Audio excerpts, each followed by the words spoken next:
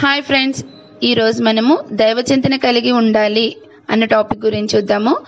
సత్యం ఎప్పుడూ మారదు ధర్మం కాలానుగుణంగా మారుతుంది. శరీర ధర్మము పుట్టడం వృద్ధి పొందడం అంతరించడం ఇవన్నీ ఆయా కాలాల్లో మార్పు చెంది నశిస్తాయి. మనకు కనిపించే దృశ్యమాన ప్రపంచము నక్షత్రాలు గ్రహాలు కూడా పుట్టడం వృద్ధి పొందడం లయ అవ్వడం.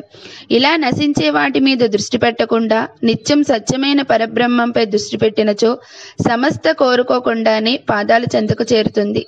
జీవితంలో సుఖభోగాలు అనుభవిస్తున్నంత కాలం పరమాత్మ చింతన కలిగి ఉండడం కష్టమే. సాధారణంగా ఆపదల సమయంలో మాత్రమే భగవంతుడు గుర్తుకొస్తాడు. మానవ జీవితం కష్ట సుఖాల సాగరం. ఆపదల్లో ఉన్నప్పుడు కూడా ఈశ్వరుని చింతన కలిగి ఉండని వారున్నారు ఈ లోకంలో. అట్టివారి అజ్ఞానంధకారంలో కొట్టుమిట్టాడుతూ పశుతుల్యంగా జీవితాన్ని గడుపుతుంటారు. అలాంటి వారిని నాస్తికులు అనడమే సమంజసం. వీరు ఎంత కష్టం వచ్చినా ఒక్క క్షణమైనా భగవన్ నామోచ్చరణ చెయ్యరు. జాతస్హి ధ్రువం మృత్యువు అన్నారు.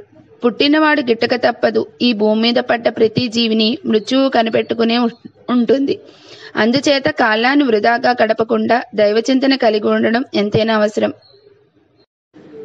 హృదయమే శక్తి కేంద్రం. హృదయం నుండి సహస్రానానికి అమృతనాడి ఉంది.